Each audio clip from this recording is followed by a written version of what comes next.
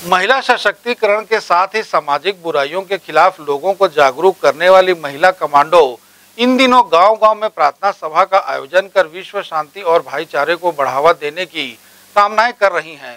रूस तथा यूक्रेन के बीच चल रहे युद्ध के कारण हज़ारों निर्दोष नागरिकों की मौत से व्यथित ये महिलाएँ प्रार्थना सभाओं के माध्यम से शांति की कामना करती हैं। ऐसा ही कार्यक्रम बालोद ज़िले में गुंडरदेही में आयोजित किया गया। जहाँ गुंडरदेही की अनुविभागीय अधिकारी प्रेमलता चंदेल मुख्य रूप से मौजूद रहकर इन महिला कमांडो को विश्व शांति की कामना के लिए प्रार्थना करवाई। इस दौरान उन्होंने इन महिला कमांडो के कार्यों की सराहना करते हुए इसे एक अनूठा कार्य बताया। इस कार्यक्रम में विशेष रूप से मौजूद पद्म पुरस्कार से सम्मानित श्रीमती शमशाद बेगम ने बताया कि विश्व शांति की कामना को लेकर की जाने वाली यह प्रार्थना सभा लगातार जारी रहेगी।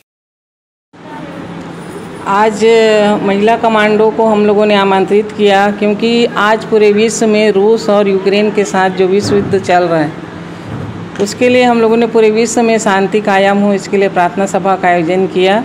और हमारी महिला कमांडो गांव-गांव में भी प्रार्थना सभा का आयोजन करके विश्व शांति की कामना कर रही हैं, ताकि सारे विश्व में, सारे देश में शांति कायम हो और लोग शांतिपूर्वक रहें, खुशहाल रहें, एक भाई, एक भाईचारा और एकता को बढ़ावा मिले।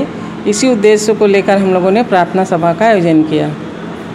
महिला कमांडो जो हैं हमारे, आज के डेट में जैसा शहर के परिवेश में हम देखते हैं कि महिलाएँ जो हैं पढ़ लिख के आगे बढ़ रही हैं।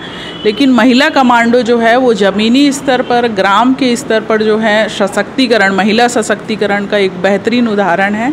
और आपके द्वारा समाज में जो बुराइयाँ हैं उसको दूर करने के लिए बहुत प्रयास किया जाता है और आपका प्रयास सफल है तभी महिला कमांडो जो है आज के डेट में एक विशेष पहचान के रूप में जो है काम कर रहे हैं। इसके लिए मैं सभी को बहुत बहुत बधाई और शुभकामनाएँ देना चाहूँगी। की की जी जी। और आज इसीलिए आज इस प्रार्थना सभा में उसी शांति की कामना की गई कि हमारा समाज जो है एक बेहतर समाज के रूप में उभरे और जिसमें आप महिला कमांडो का सभी का उसमें सहयोग रहेगा।